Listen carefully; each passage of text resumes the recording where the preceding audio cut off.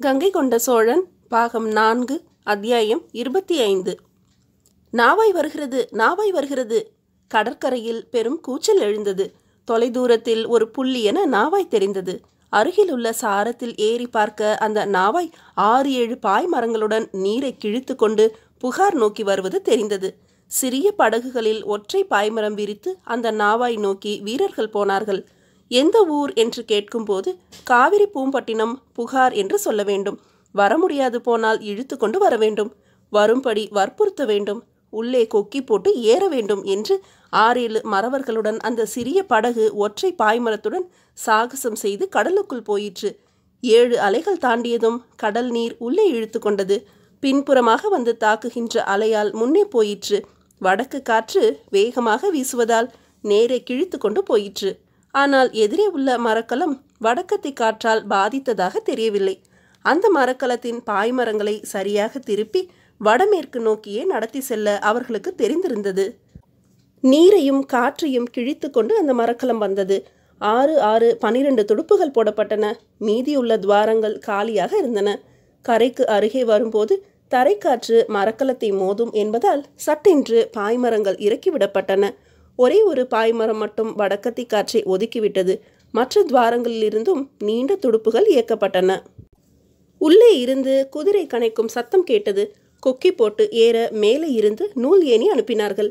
இது அரபு தேச நாவாய். துருக்கர்கள். எந்த சோனக தேசம் என்பது தெரியவில்லை. சோனக தேசம் பல்வேறு இடத்தில் பல குழுக்களாக இருக்கிறது.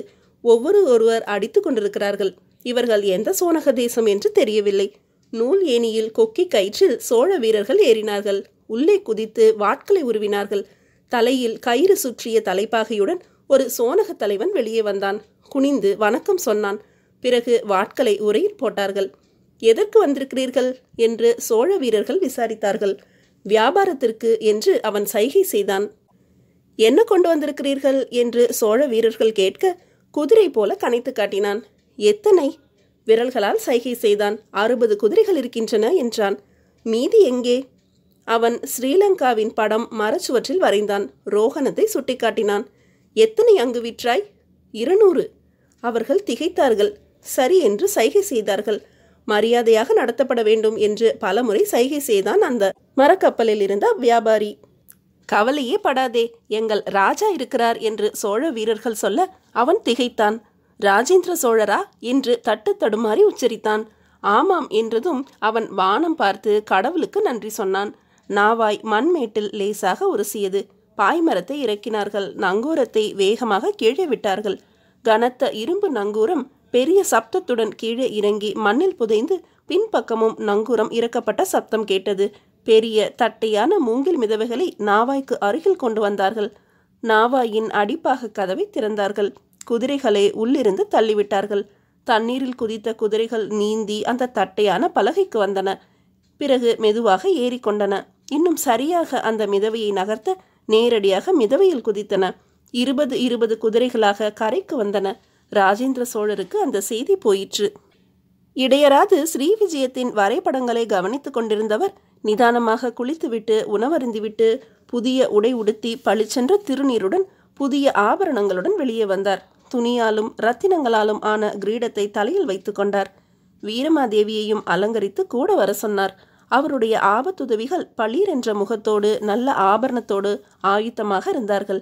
வீரமாதேவியும் ராஜேந்திரரும் குதிரையில் ஏறிக்கொள்ள நிதானமாக பூம்புகாரின் பல்வேறு தெருக்களை அவர்கள் தாண்டினார்கள். ஜனங்கள் வாசலில் வந்து வாழ்த்தினார்கள். செண்பக மாலையை ஒருவன் சரமாக கட்டி அவர் கழுத்தில் சூட்டினான். நெடி மூக்கை துளைத்தது. சிறிது நேரம் அதை அணிந்துவிட்டு அதை ஒரு வீரனிடம் கொடுத்து இதை எல்லோருக்கும் பிரித்து வழங்கிவிடு. எல்லோர் முகமும் செண்பகமாக மலரட்டும். வாசனை வீசட்டும் என்றார். அவர் கடந்து போக மிகப்பெரிய செண்பக வாசனையும் கடந்து போயிற்று. காலை பொழுது நன்றாக இருந்தது. மரக்கலங்களில் சிறந்தது வங்கம். சோனக தேசத்தில் என்ன பெயரோ தெரியவில்லை. இங்கே இதன் பெயர் வங்கம். பல படுக்கையறைகளை கொண்டது. அமர்ந்து பேச சிறிய தளமும் உண்டு. அங்கு வந்திருந்தது நாவாயல்ல வங்கம். அதுவும் மிகப்பெரிய வங்கம். வழியிலேயே அது அரபு தேச வங்கம் என்று சொல்லிவிட்டார்கள். அறுபது குதிரைகள் என்றும் சொல்லிவிட்டார்கள். அருகே போனதும் இருநூறு ரோகணத்தில் இறங்கியது என்று சொன்னார்கள். ராஜேந்திர சோழர் முகம் மாறினார். குதிரையில் இருந்தபடியே வங்கத்திலிருந்து வரும் சிறிய மரக்கலத்தை பார்த்தார். அதில் வெளிர் என்ற உடையோடு தலையில் தங்க கயிற்றால் கட்டப்பட்ட தலைப்பாகையோடு தாடியோடும் மழித்த மீசையோடும் ஒரு தளபதி வந்து இறங்கினான். நீண்ட அங்கி அணிந்திருந்தான். அதை எடுத்து மடித்து மடியில் கட்டியிருந்தான். கனமான காலுறைகள் போட்டிருந்தான். மணலில் புதைய நடக்கத் தொடங்கினான். ராஜேந்திரரை பார்த்ததும் அங்கி தளர்த்தி குனிந்து வணக்கம் சொன்னான். மண்டியிடு என்று மறவர்கள் கத்தினார்கள். அவன் மேலே கை காட்டி முடியாது என்று மறுத்துவிட்டான். இது அவர்களுடைய வழக்கம். கடவுளை தவிர வேறு எவருக்கும் மண்டியிட மாட்டார்கள். ஆனால் மிகப்பெரிய மரியாதையாக வணக்கம் சொல்வார்கள். அவன் உடம்பை மடித்து நெற்றியில் கை வைத்து குனிந்து பலமுறை வணக்கம் சொன்னான். பிறகு எழுந்து நின்று பின்புறம் பார்த்தான். அவனுடைய உதவியாளர்கள் சிறு மூட்டையோடு வந்தார்கள். அந்த மூட்டையை பிரித்தார்கள். மூட்டையில் தங்க கட்டிகள் இருந்தன. கிராம்பு ஏலம் சிறு பையில் போடப்பட்டிருந்தது. மரத்தில் செய்த புத்தர் சிலை ஒன்றும் இருந்தது. ஒரு குதிரை இரண்டு கால்களில் நிற்பது போல இன்னொரு மர சிற்பம் இருந்தது. இன்னொரு மரப்பெட்டியை பிரிக்க அதில் வாசனை திரவியங்கள் வைக்கப்பட்டிருந்தன. ஒன்றை திறந்து மெல்லியதாக ராஜேந்திரன் மீது அவன் தெளித்தான். செண்பக வாசனை காணாமல் போயிற்று. மூக்கை துளைக்கின்ற ஒரு வாசனை கிளம்பிற்று. அடே அப்பா! என்று சோழ வீரர்கள் வியந்தார்கள்.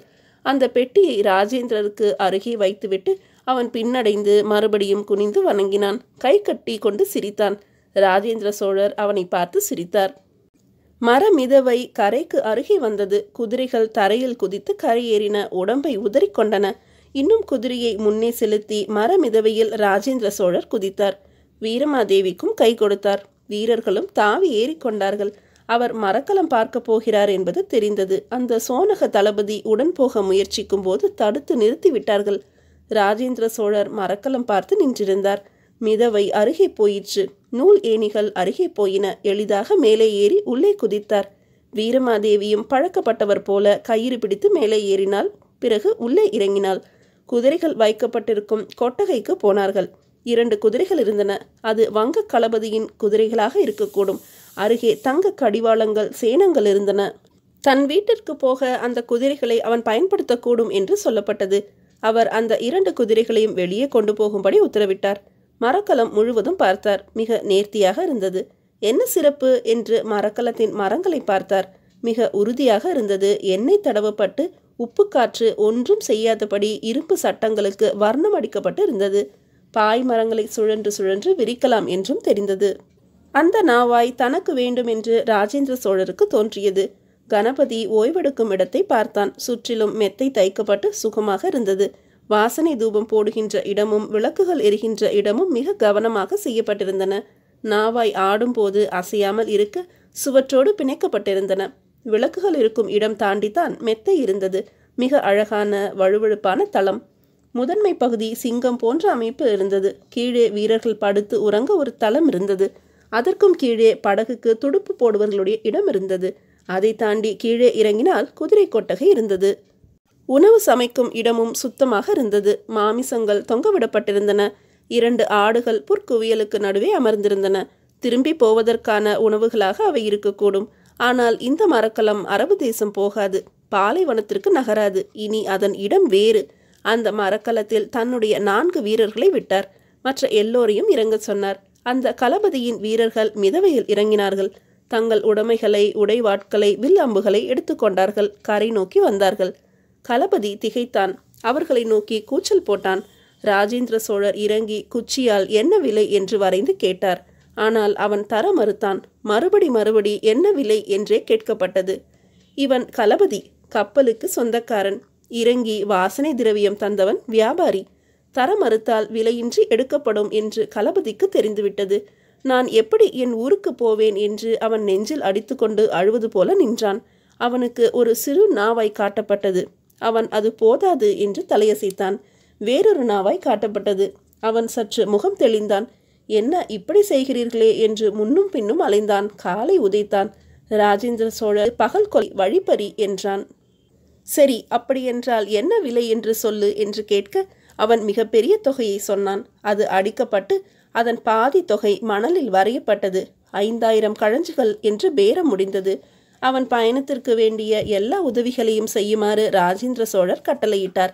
ஐந்தாயிரம் பொற்கழஞ்சுகள் அழகான மரப்பெட்டியில் போட்டு அவனிடம் கொடுக்கப்பட்டது. அவன் பெரிய துணி விரித்து அதை தன் வீரர்களோடு எண்ண துவங்கினான். நடுவே அடிக்கடி தங்கத்தை உரசி பார்த்தான். ஒரு காசு கூட தவறாக இல்லை. அவன் வேண்டியபடி மாடுகளும் பாத்திரங்களும் அரிசியும் துவரம் பருப்பும் காராமணியும் காய்கறிகளும் பழங்களும் கூடை கூடையாக மிதவையில் ஏற்றப்பட்டன. அவை அனைத்தும் இலவசம் என்று ராஜேந்திர சோழர் சொன்னார். அவன் குனிந்து வணங்கினான். மீதியை அடுத்த அத்தியாயத்தில் காணலாம்.